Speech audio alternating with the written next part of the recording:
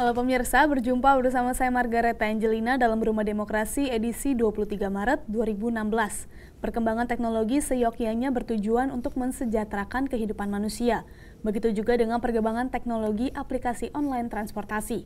Namun bagaimana jika hal tersebut malah menimbulkan permasalahan baru yang harus segera diselesaikan? Sebelum kita memulai diskusi hari ini, mari kita saksikan cuplikan berita berikut.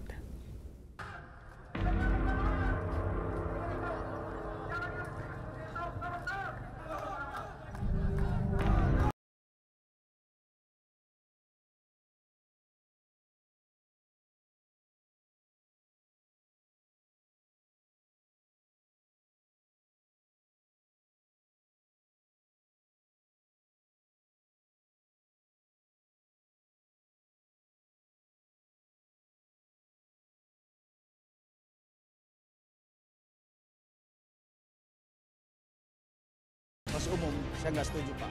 Nah, sangat membunuh semua rekan-rekan kita yang ada di sini Pak. Dan penghasilan kita juga sejak adanya aplikasi. Jangan untuk mendapat lebihan, kalau untuk mendapat setoran kita susah Pak.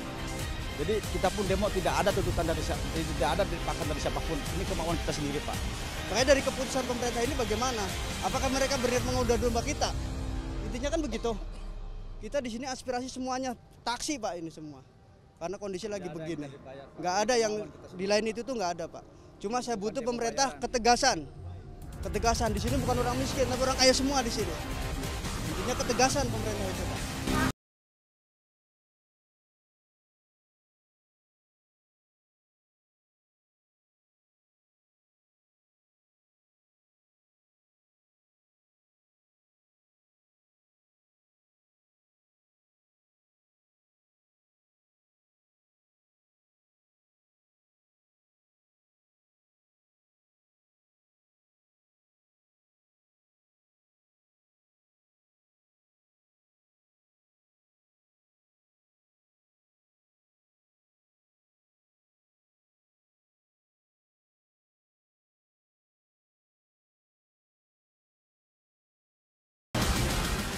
Ya, itu dia sedikit cuplikan mengenai fenomena yang memang sedang sekarang ini sedang terjadi di Jakarta, Indonesia. Dan hari ini kita akan membahasnya bersama narasumber kita hari ini yaitu Bapak Muhammad Aras selaku komunikasi dosen komunikasi politik.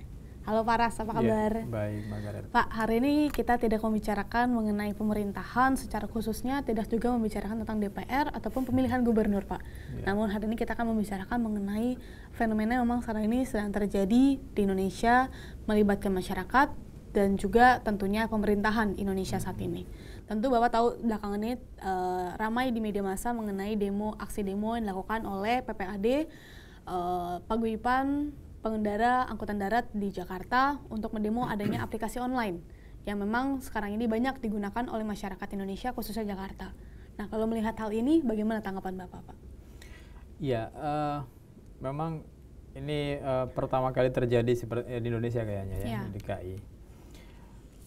Uh, ini kenapa baru terjadi? Ya karena memang aplikasi online transportasi online ini juga baru, hmm. baru uh, sehingga uh, masyarakat itu baru juga beraksi ya.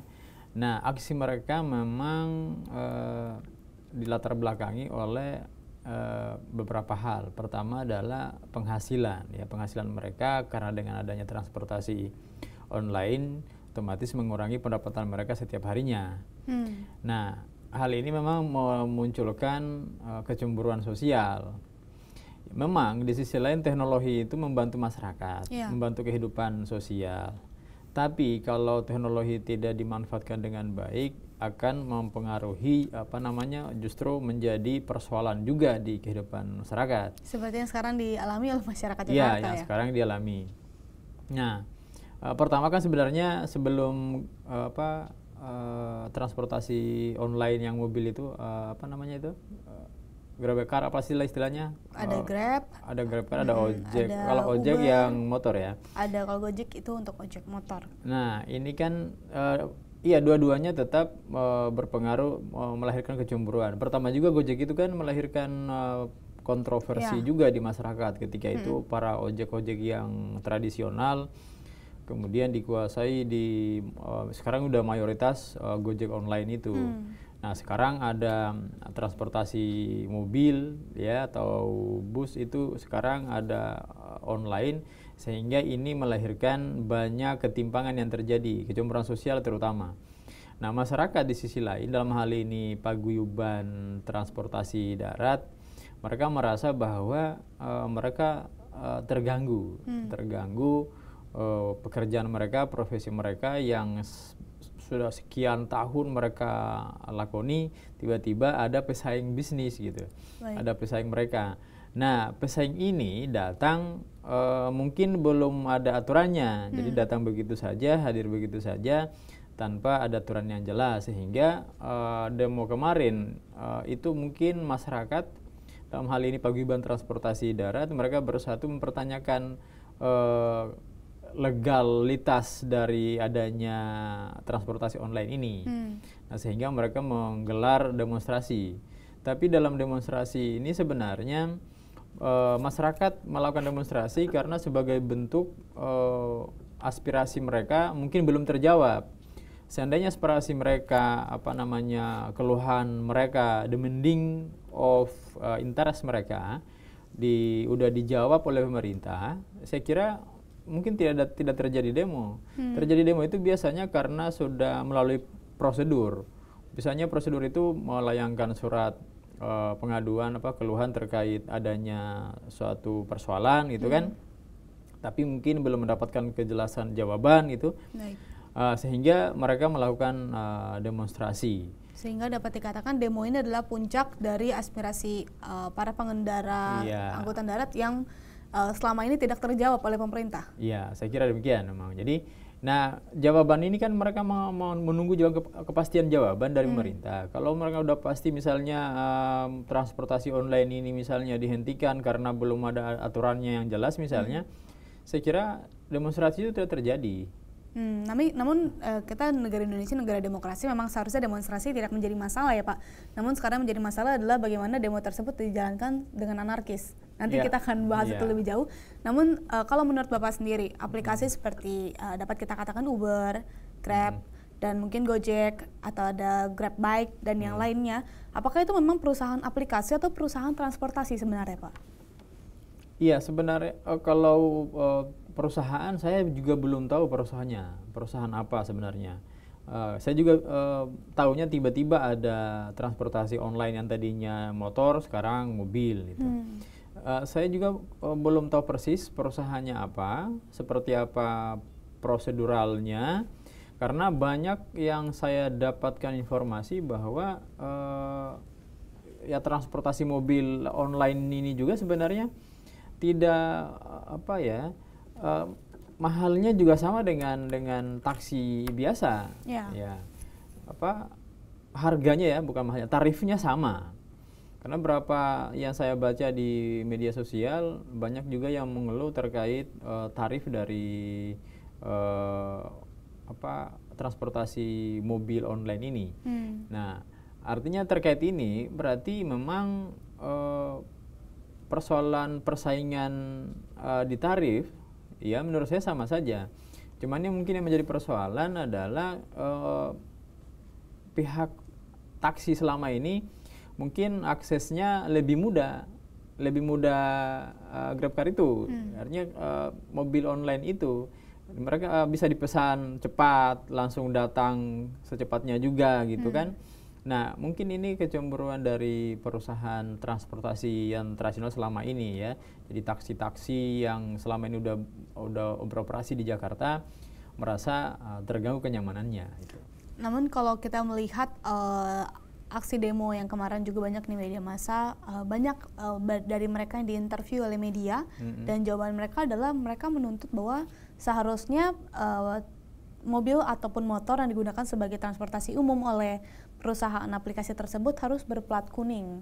Juga Ya. harus membayar pajak, juga harus diperlakukan sama seperti taksi-taksi konvensional yang sekarang ini sedang mereka jalankan.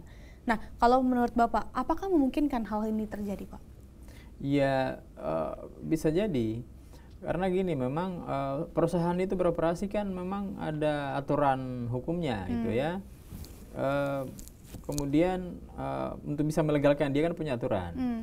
Nah, setelah setelah berdiri perusahaan itu, otomatis kan harus uh, kewajiban pajak ada kan. Nah, saya juga bertanya sebenarnya karena belum tahu persis seperti apa perusahaan online ini, uh, bagaimana keberadaannya, kemudian bagaimana membayar pajaknya gitu hmm. kan atas penghasilan perusahaan. Hmm. Nah, ya saya sendiri juga belum tahu. Tapi yang jelas saya melihat fenomena uh, hari ini adalah memang uh, kecemburuan sosial itu ada di antara mereka. Hmm. Ya karena selama ini uh, mobil trans apa namanya transportasi taksi dalam hal ini uh, selama ini mereka udah secara konvensional sehari-hari udah melakukan apa namanya ya. uh, tugasnya sehari-hari sebagai supir tiba-tiba diganggu oleh kehadiran Naik. transportasi hmm. online yang notabene tidak punya aturan misalnya hmm. karena kan ada aturan undang-undang ya ada undang-undang transportasi hmm. darat gitu ya setelah ini mungkin kita akan uh, kita akan bahas sebenarnya uh, apa sih pak yang dilanggar oleh apa transportasi uh, yang dimiliki oleh aplikasi ini dan sebenarnya apa yang membuat sampai uh, para pengendara transportasi angkutan darat ini bertindak anarkis hmm. dan tidak melakukan demonstrasi secara baik-baik seperti seharusnya. Setelah ini yang kita ya. bahas, jangan ke mana-mana pemirsa, tetap di Rumah Demokrasi.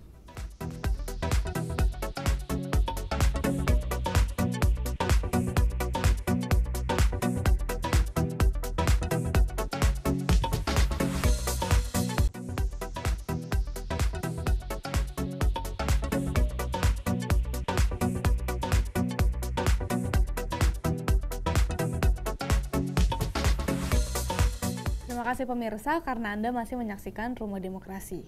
Paras kita lanjutkan ya, masih mengenai fenomena uh, demonstrasi yang dilakukan oleh PPAD Jakarta. Nah, kalau misalnya kita melihat situasi sekarang ini Pak, di mana tadi juga kita melihat uh, cuplikan berita bahwa demonstrasi ini dilakukan secara anarkis. Bahkan mereka uh, melakukan hal tersebut ke sesama temannya. Tadi ya. kita melihat ya ada super-super taksi yang memang menghancurkan mobil uh, taksi temannya melakukan sweeping di jalanan, menurunkan penumpang-penumpang, bahkan hmm. ada yang terluka juga. Nah, kalau melihat hal ini, apakah uh, menurut Paras hal ini lazim untuk dilakukan uh, untuk menunjukkan kemarahan mereka, Pak? Oke, saya kira ini keliru. Artinya uh, mereka memang menyampaikan aspirasi, ya, tapi bukan berarti anarkis. Anarkis, anarkis itu memang uh, uh, apa tidak boleh hmm. tidak boleh anarkis karena kan merugikan orang lain nah tadi saya perhatikan uh, cuplikan dari uh, demonstrasi proses demonstrasi di depan Senayan itu ya hmm. sampai uh, tega gitu ya mobil taksi temannya juga dirusakin di dipecahin kacanya hmm. bahkan dalam taksi itu ada penumpangnya itu kan uh, mencederai penumpang itu sendiri dan hmm. penumpang nggak tahu apa-apa gitu kan iya, betul Nah, tadi saya lihat ini mencerminkan uh, sesuatu yang tidak baik gitu, sehingga uh, nama baik uh, atau reputasi dari perusahaan taksi menjadi nggak bagus di mata masyarakat. Hmm. Jadi perusahaan itu kan harus menjaga pencitraannya, citranya harus bagus. Kalau ceritanya nggak bagus di mata masyarakat, masyarakat akan uh, lari dari perusahaan itu, gitu. dari misalnya transportasi uh, taksi tertentu. Ketika dilihat dengan uh, menggunakan baju seragam perusahaannya, masyarakat menonton kan melihat yeah. itu artinya ini kalau terjadi seperti ini masyarakat menilai bahwa uh, ini ini perusahaan menjadi tidak bagus di mata masyarakat hmm. opini masyarakat berkembang begitu cepat gitu yang ya. tadinya justru percaya namun uh, melihat hal tersebut justru mungkin kepercayaannya kurang ya pak iya uh, menjadi kurang nah ketika kurang kepercayaan masyarakat terhadap perusahaan tersebut otomatis kan kan penggunanya kan masyarakat yeah. jadi uh, ini menjadi uh, pertanyaan juga bagi saya, kenapa sampai tega mencederai atau merusak mobil uh, taksi temannya, padahal sama-sama profesi mereka sebagai supir taksi hmm. yang selama ini konvensional gitu. Ya, saya rasa demonstrasi ini kan sebagai bentuk uh, menyampaikan aspirasi, yeah. kompak, senasib, perasaan hmm. senasib. Ketika memiliki perasaan senasib, berarti tidak mesti merusak uh, taksi yang lain karena mereka punya punya perasaan yang sama. Ya. Nah, ada ada berapa hal analisa saya terkait per, uh, anarkis tadi, mungkin uh, yang lain demo mela, mau ikuti mengikuti aksi demo, hmm. sementara yang lain uh, masih sibuk mencari uang. Ya kan? Jadi uh, yang lain mogok dari uh, operasional taksi hari itu, tapi taksi yang lain justru mau menjalankan aktivitas seperti biasa yaitu hmm. mencari penumpang. Nah, tapi uh, kita harus lihat latar belakangnya. Dia juga kan tetap harus menyetor hari itu, dia harus yeah. tetap mau, mau menyetor apa namanya kewajibannya sebagai uh, apa ma, setiap hari taksi itu kan punya setoran. Ya, punya, punya setoran punya target setiap hari. Nah dia kalau tidak tidak tidak mencapai target, kan dia harus nambah sendiri. Yeah. Nah kan rugi juga jadinya. Mm-mm. Bagaimana keluarganya, bagaimana pendapatan dia sehari harinya, kemudian akan berdampak kepada uh, kehidupan keluarga. Jadi uh, kita jangan melihat uh, apa taksinya, tapi kita lihat latar belakang dari taksi itu. Supir taksi kan punya keluarga punya istri punya anak. Ya, ya. Nah lalu mereka kalau dirusaki seperti itu kemudian di apa um, ditindak semena-mena dan bahkan merusak itu kan butuh ongkos lagi untuk memperbaikinya. Nah ta apa target sehari aja nggak cukup gimana memperbaiki taksi yang rusak hmm. itu.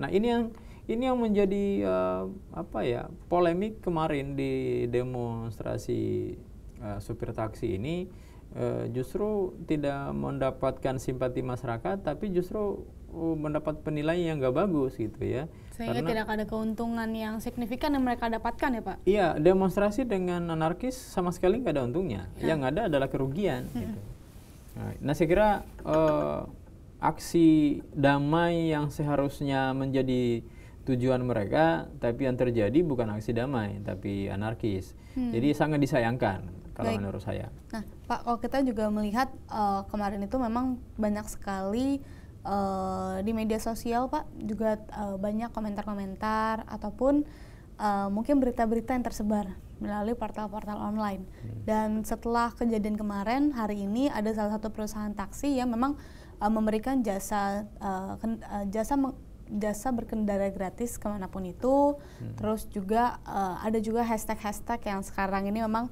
perkembangan teknologi tidak bisa kita hindari. Jadi mereka semua melakukan kampanye melalui hashtag di media sosial. Dan uh, kalau kita melihat hal ini, uh, masyarakat sekarang ini justru yang seperti episode-episode lalu kita bicarakan juga memang masyarakat Indonesia khususnya Jakarta semakin pintar pak hmm. bahwa mereka bisa melihat yang mana mereka butuhkan yang mana um, baik menurut mereka. Yeah. Nah kalau bapak melihat set, setelah hari ini setelah uh, aksi demonstrasi kemarin bagaimana nasib dari uh, taksi konvensional kita pak?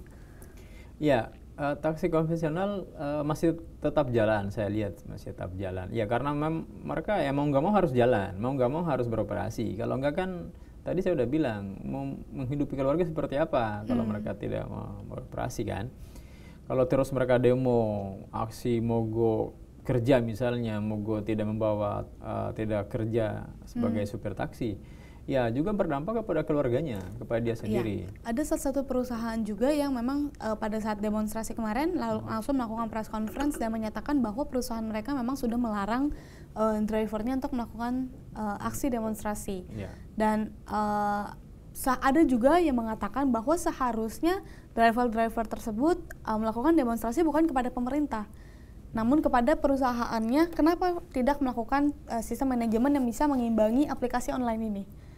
Nah, melihat polemik-polemik yang semakin rumit seperti ini, bagaimana tanggapan Bapak? Iya, ini ini sangat dilematis sebenarnya, sangat dilematis. Memang uh, saya pernah naik taksi, salah satu taksi di Jakarta, memang uh, dia mengatakan bahwa uh, sebenarnya nggak setuju dengan demo itu, hmm. karena dia uh, apa namanya mengganggu pendapatannya dia hari itu kan saya bilang lalu siapa yang mensponsor ini? Ya dia jawab juga dia juga nggak tahu. Dia hanya dengar dari orang per orang dari hmm. mulut ke mulut bahwa besok demo misalnya gitu kan. Ya jadi saya bilang wah ini gimana? Gitu. Saya bilang apakah perusahaan mendukung demo ini? Hmm. perusahaan juga katanya enggak juga. Jadi ini adalah memang solidaritas uh, taksi supir-supir taksi gitu ya. Okay. ya terlepas dari itu kita nggak tahu apakah uh, perusahaan mendukung atau hmm. tidak kita nggak tahu. Tapi yang jelas apa pun namanya demo hmm. kalau dilakukan dengan anarki saya kira menjadi tidak efektif, tidak sampai ya, hmm. tidak tidak komunikatif menyampaikan uh, aspirasinya. Baik. Karena dengan demo dengan dengan anarkis ya justru mendatangkan masalah baru ya. gitu, bukan menyelesaikan masalah tapi menciptakan masalah. Ya jika dikatakan tentang uh, aplikasi online ini, jika uh, kita ter, ter, kita keluar dari masalah transportasi, kita yeah. bicara tentang aplikasinya, Pak.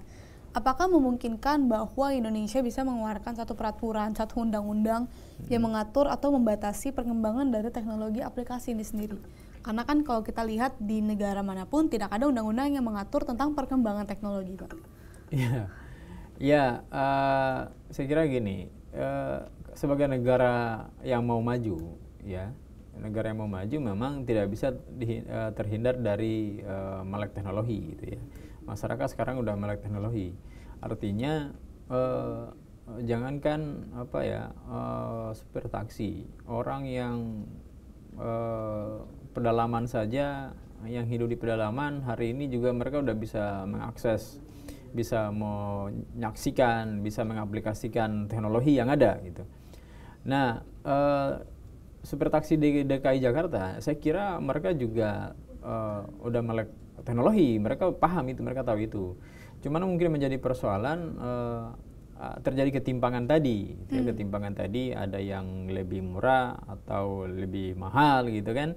Sehingga kedua belah pihak tidak terjadi uh, apa apa kedua belah pihak terjadi ketimpangan terjadi kecemburuan sosial. Ya. Nah inilah yang membuat mereka bisa beraksi. Ya, tapi persoalan teknologi ya mau nggak mau Indonesia harus siap. Ya hmm. kalau oh, negara ini kan udah menuju ke level maju ya, gitu ya. karena sebenarnya permasalahan ini juga bukan hanya di Indonesia pak kalau di Amerika Serikat uh, sudah terjadi pada tahun 2008. Begitu juga di negara-negara seperti Prancis itu juga sudah uh, beberapa tahun lalu sudah terjadi hmm. negara dengan permasalahan yang juga kurang lebih sama. Yeah. Dan saat ini giliran Indonesia. Iya. Yeah. Kenapa? Karena mereka duluan, mereka yeah. duluan melek teknologi, hmm. perkembangan teknologi mereka lebih dulu dari kita. Yeah. Nah, kita baru kali ini baru sekarang. Nah, seiring dengan perkembangan uh, apa website, ya uh, media sosial. Yeah uh, media online ya. Hmm. Jadi memang di sisi lain memberikan kemudahan. Hmm. Tapi di sisi lain kalau misalnya teknologi itu tidak dimanfaatkan dengan baik juga akan menjadikan sebagai suatu problem yang yang dihadapi oleh uh, masyarakat itu sendiri. Baik. Ya. Kalau dari tadi kita bicara tentang masyarakat, driver, aplikasi, lalu bagaimana uh, dan di mana posisi pemerintah saat ini, Pak? Okay. Setelah yang kita bahas, jangan ke mana-mana pemirsa, tetap di Rumah Demokrasi.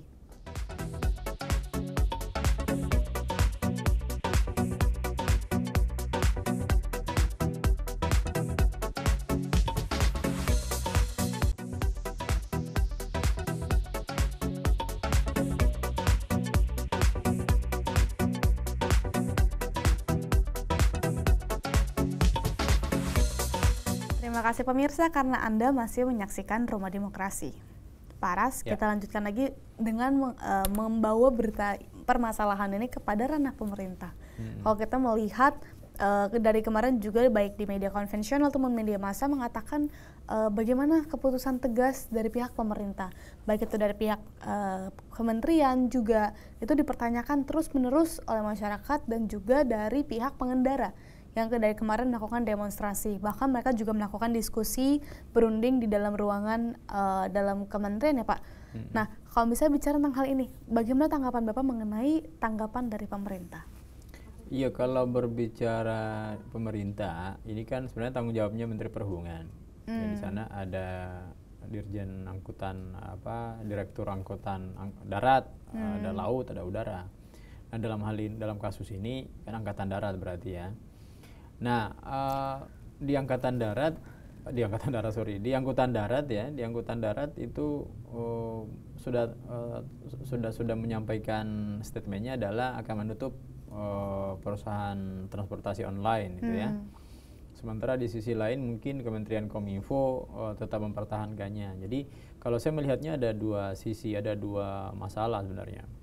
Kalau untuk Kementerian Perhubungan, khususnya di uh, uh, direktur apa perhubungan darat ya transportasi yeah. darat mereka uh, melihat bahwa uh, acuannya adalah undang-undang undang-undang transportasi ya karena hmm. dalam dalam undang-undang itu undang-undang uh, undang-undang transportasi itu belum ada uh, aturan yang jelas terkait transportasi online gitu ya karena kan baru undang-undang juga udah lahir kalau nggak salah 2009 ya yeah. nomor 20 tahun 2009 nah hal ini uh, menjadi persoalan ya kenapa ketika ada suatu perusahaan yang beroperasi tidak mengacu kepada undang-undang ya akan ber, akan bersentuhan dengan uh, pemerintah pastinya. Namun apakah perusahaan aplikasi ini melanggar undang-undang, Pak? Ya kalau melanggar, kalau memang ini belum masuk dalam pasal undang-undang transportasi, otomatis melanggar. Tapi kalau misalnya sudah ada, ya nggak nggak melanggar. Sekarang nanti dilihat undang-undangnya. Saya sendiri belum uh, tak belum belum lihat uh, isi dari pasal-pasal undang-undang transportasi itu. Tapi yang jelas seperti itu. Kalau kalau memang uh, belum ada dalam pasal di, ada belum ada bunyi pasal di undang-undang transportasi darat terkait uh, angkutan online, ya melanggar. Tapi kalau misalnya sudah diatur, ya nggak melanggar berarti sah-sah saja. Tapi kan undang-undang kan lahir udah lebih duluan. Nah, sementara hmm. ini kan baru, baru baru ada. Hmm. Ya, kalaupun undang-undang lebih dulu tapi sudah ada yang mengatur tentang hal ini, saya yeah. kira ya wajar saja. Hmm. Tapi menjadi persoalan kalau misalnya belum diatur dalam undang-undang. Hmm. Nah, kemudian di uh, hal inilah yang mau, mau, mau, mau apa namanya pemerintah menjadi pertimbangan. Ya, jadi ketika Menteri Kementerian Perhubungan menutup uh, transportasi online, berarti mereka sudah punya alasan Alasannya adalah uh, salah satunya uh, belum diatur dalam undang-undang transportasi. Yeah. Itu. Saya kira itu. Nah, kemudian uh, perusahaan online trans angkutan online juga ini ya harus harus uh, apa menganalisa keadaan ini. Artinya ketika diperhadapkan dengan masalah seperti ini justru meresahkan sosial, mereka kan hadir untuk membantu oh, masalah sosial yang kemudian juga mereka mendapat bisa mendapat keuntungan dari itu. Yeah. Tapi yeah. kalau misalnya justru mau, mau mendapatkan masalah, ya kerugian dan meresahkan masyarakat, ya saya kira ini memang harus di, menjadi pertimbangan. Pemerintah Namun, harus harus harus sensitif dari hal, uh, terhadap hal ini. Namun saat ini pemerintah juga mungkin uh, sedang dalam kebingungan karena uh, ini melibatkan dua kementerian, Pak. Yeah. Di sini di satu sisi memang uh, Kementerian Transportasi uh, meminta untuk ditutup hmm. untuk diberhentikan uh, jasa transportasi ini. Hmm. Namun uh, dari pihak Kominfo uh, bersikeras untuk tidak menutup aplikasi ini karena bagi mereka ini tidak melakukan uh, kesalahan dan mungkin uh, dapat dicari jalan keluarnya yang lebih baik. Hmm. Nah, kalau melihat hal ini, uh, pertanyaan terbesit adalah sebenarnya Pak, apa sih uh, siapa yang bisa menengahi Pak atau siapa mungkin memiliki kewenangan untuk mengambil keputusan di saat memang uh, seperti ini terlalu rumit ya pak terlalu, polemiknya ya. juga terlalu banyak melibatkan pihak-pihak yang terkait kalau uh, sekarang kita lihat Kementerian Perhubungan menutup hmm. ya transportasi online ini Kementerian Kominfo misalnya tetap mempertahankan berarti dua kementerian kontroversi kan ya. uh, tidak sejalan Nah, yang yang bertanggung jawab yang harus turun tangan di sini berarti Pak Presiden gitu ya. Hmm. Pak Presiden karena kabinetnya menteri-menterinya misalnya tidak tidak sejalan gitu ya. Ada yang mau tutup, ada yang membiarkan terus berjalan. Nah, ini kan masalah. Hmm. Artinya masalah terjadi uh, kesenjangan antara harapan dan kenyataan hmm. di masyarakat gitu. Jadi inilah yang menjadi polemik masalah ini ya mau nggak mau harus diselesaikan. Kalau tidak selesai, saya kira ini akan berlanjut dan pada akhirnya masyarakat menjadi nggak nyaman. Pemerintah lahir di, di sebuah negara tujuannya adalah untuk memberi kenyamanan kepada rakyatnya, mensejahterakan rakyatnya.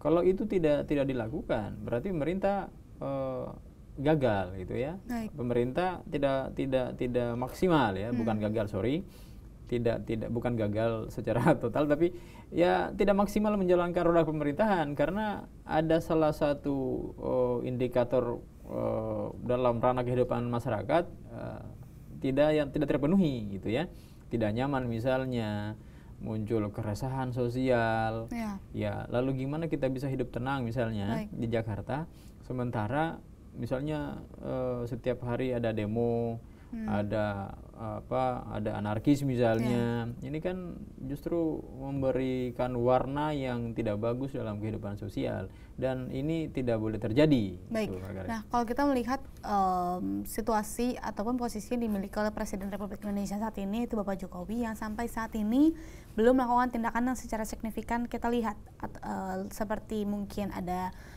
kata-kata uh, dari beliau ataupun mungkin ada surat keputusan atau hmm. peraturan pengganti undang-undang yang seharusnya mungkin dikeluarkan di saat-saat genting seperti ini. Nah, apakah hal ini uh, mungkin apakah memang hal ini dibut dibutuhkan waktu lebih panjang oleh Pak Jokowi untuk uh, melakukan banyak pertimbangan, Pak. Karena kalau kita melihat uh, dalam rekapnya, Pak Jokowi selalu mengambil tindakan cepat hmm. dalam berbagai permasalahan Indonesia. Namun saat ini beliau juga masih belum uh, mengambil tindakan apa pun.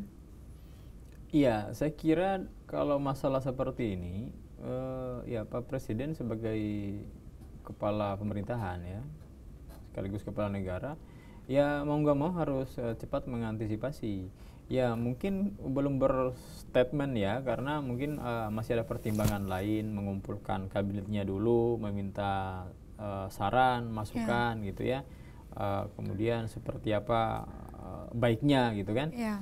saya kira itu tetap dilakukan ya Uh, namun uh, masyarakat ini kan butuh kepastian yang cepat. Ya, itu dia. Ya, masyarakat cepat. tidak akan bisa menunggu, Pak. Ya, masyarakat kan biasanya ya namanya juga kehidupan sosial yang begitu banyak dari Sabang sampai Merauke, masing-masing memiliki harapan dan opini, ya kan? Nah, kalau misalnya kebijakan itu uh, terlambat dilakukan oleh pemerintah, justru menambah keresahan itu, ya. menambah keresahan masyarakat inilah yang harus dilakukan secepatnya mm. gitu ya uh, terkait pemerintah apakah ada kontroversi di dalam kabinet itu di dalam pemerintahan itu ya saya kira bukan itu menjadi masalah yang menjadi yeah. masalah adalah bagaimana menyelesaikan masalah ini kemudian masyarakat menjadi nyaman gitu. karena saat ini uh, kalau kita lihat juga bahwa masyarakat harus butuh jawaban yang cepat pak karena kalau kita melihat kemarin saja sudah ada tindakan anarkis bagaimana hmm. kalau mereka diminta untuk menunggu lebih lama lagi karena uh, kita hanya menakutkan bahwa karena ini bermasalah dengan perut pak bermasalahan dengan uh, pendapatan bermasalahan yeah. dengan pekerjaan bukan hanya satu dua orang atau mungkin ratusan tapi ratusan ribu pengendara angkutan darat jadi hmm. uh, kalau misalnya kita melihat hal ini memang pemerintah seharusnya mengambil tindakan cepat ya pak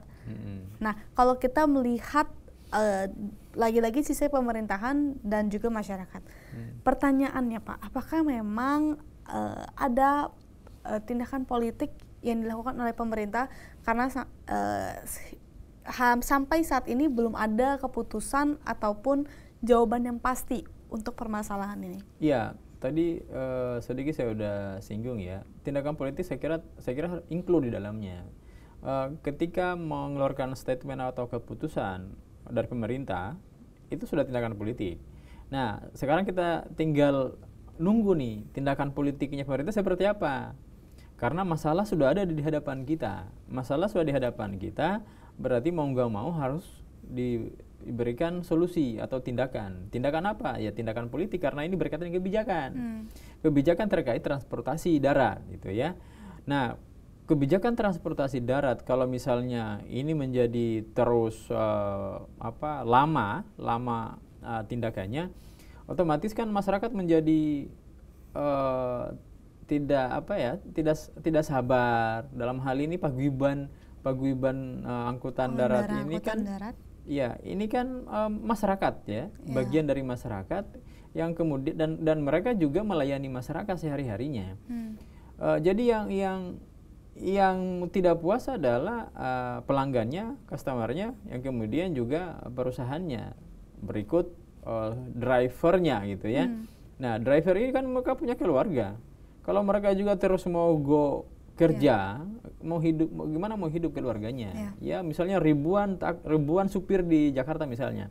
Ribuan satu orang saja punya keluarga lima orang misalnya. Hmm.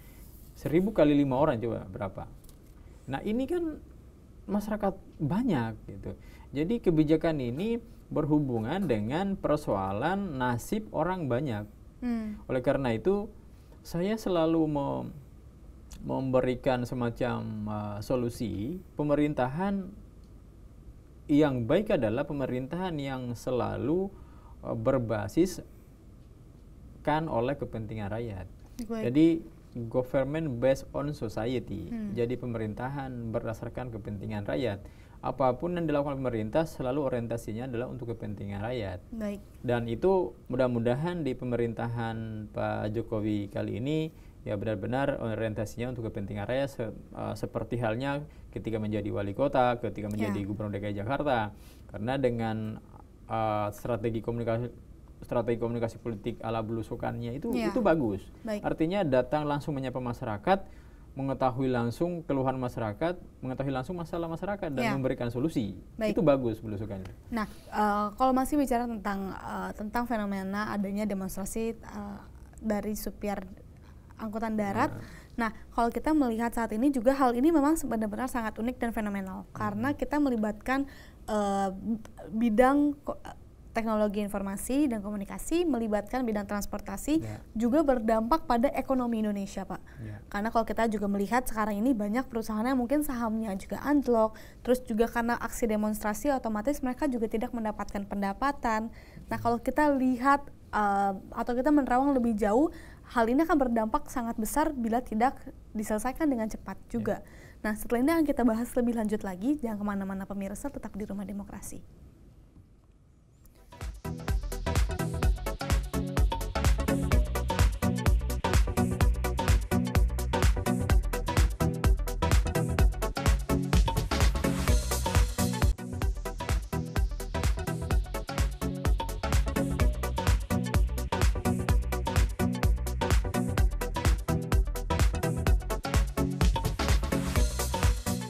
Terima kasih pemirsa karena Anda masih menyaksikan Rumah Demokrasi yang membahas mengenai fenomena demo supir taksi yang menuntut kebijakan pemerintah. Paras, Ya. setelah kita berbincang uh, panjang dari segmen 1 sampai saat ini, uh, kita juga uh, harus melihat ya Pak, harus melihat apa pun yang dilakukan saat ini dampaknya pastilah ke ekonomi Indonesia. Ya, memang uh, belakangan ini beberapa tahun ini sejak merdeka sampai hari ini masih terus meningkatkan uh, kemajuan ekonomi masyarakatnya, kesejahteraannya. Nah, jangan sampai hal ini juga uh, berdampak pada hal tersebut. Nah, kalau dari para sendiri ada nggak sih Pak saran ataupun harapan yang sehubungan dengan ekonomi Indonesia dan fenomena demonstrasi taksi ini? Iya, eh, terkait dampak udah pasti ya dampak perekonomian kerakyatan ya. Karena eh, supir taksi ini kan eh, mereka adalah bagian dari masyarakat yang memang harus terus hidup. Terus hidup artinya eh, perekonomiannya juga harus dipertahankan paling tidak eh, meningkat gitu. Nah, mereka ini kan eh, eh, kerja di suatu perusahaan taksi gitu ya.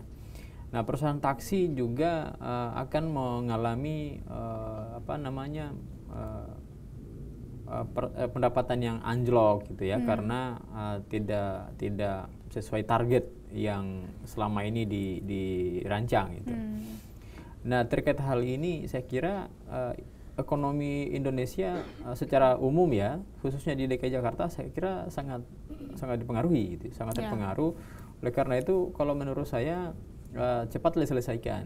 Jangan sampai ini terus-terus eh, memakan waktu yang cukup lama sehingga akan berdampak kepada eh, kesejahteraan sosial itu sendiri. Baik. Ya. Bagaimana kalau mengenai tentang perkembangan dari aplikasi kemaju, eh, aplikasi online yang ber- yang berdampak pada kemajuan teknologi di Indonesia, Pak? Oke, aplikasi eh, tidak bisa disalahkan juga ya karena aplikasi online ini kan bagian dari perkembangan teknologi gitu ya. Nah, saya kira teknologi di Indonesia ya negara ini memang butuh teknologi. Ya, masyarakat juga butuh perkembangan teknologi ya. Nah, ke- eh, hal ini bukan menjadi alasan harus ditolak atau bagaimana. Tapi yang perlu dibenahi adalah eh, aturan atau undang-undang yang mengatur eh, misalnya eh, transportasi online misalnya. Ada undang-undang yang mengatur itu sehingga bisa legal. Ketika ada undang-undangnya, undang-undang kan udah bisa mengatur tuh bagaimana untungnya, gimana ruginya, bagaimana persaingan bisnis di antara transportasi gitu kan. Hmm. Itu diatur nanti dalam undang-undang. Sehingga kalau menurut Paras untuk aplikasi online jalan keluarnya adalah dibuat aturannya dalam dibuat aturannya undang-undang, ya, Pak? jelas sehingga tidak bisa sehingga tidak terjadi eh, persoalan yang eh, persoalan di masyarakat gitu ya. Baik. Nah, kalau misalnya nih Pak, seperti biasa, ada nggak sih Pak harapan dari para sendiri mengenai uh, fenomena bluebird ini dan apa sih tindakan nyata yang bisa dilakukan oleh masyarakat khususnya mahasiswa Pak? Eh, harapan ya, Hmm. harapan saya se- secara pribadi dan juga mungkin mahasiswa. eh, ini harapannya cepat selesai, cepat selesai. eh, artinya eh, tiada lagi masalah. eh, Ya. Pihak transportasi juga mereka bisa bekerja, kembali bekerja seperti biasa, bisa mendapatkan penghasilan yang cukup seperti biasa. Kemudian masyarakat sebagai pengguna juga nyaman, Ya. gitu kan. uh, uh, kita juga bagian dari pengguna gitu ya. Jadi kita juga butuh kenyamanan itu. Hmm. Nah kalau kita udah nyaman, saya kira akan terwujud masyarakat yang damai, sejahtera, setosa gitu ya. Nah, inilah yang kita harapkan. Baik. Hmm. Nah, uh, sehingga balik lagi ke yang pertama ya bahwa sebenarnya perkembangan teknologi itu tujuannya mensejahterakan kehidupan manusia iya. gitu. Jangan dijadikan untuk uh, permasalahan-permasalahan iya. baru. Ya. Nah, kalau Pak satu kata nih Pak seperti biasa. Ya. Satu kata yang menggambarkan uh, harapan Bapak untuk uh, permasalahan aplikasi online dan teknologi saat ini di Indonesia adalah satu kata. Yes solusi. Solusi. Iya. Baik. Nah, itu dia perbincangan kita mengenai uh, fenomena demonstrasi supir taksi yang menuntut kebijakan pemerintah yang memang sedang terjadi di Indonesia, khususnya Jakarta saat ini. Sebenarnya fenomena seperti ini tidak dapat dibenarkan ataupun dipersalahkan namun yang terpenting adalah bagaimana kita sebagai masyarakat Indonesia dapat menjadikan fenomena ini sebagai batu sandungan untuk menjadikan Indonesia yang lebih baik sehingga apa pun keputusannya tidak merugikan siapa pun dan memajukan negara Indonesia. Akhir kata, saya Margareta, Bapak Muhammad ya. Aras. Ya. Terima kasih Pak Aras. Oke, dan seluruh kru yang bertugas pamit undur diri dan sampai jumpa di Rumah Demokrasi selanjutnya.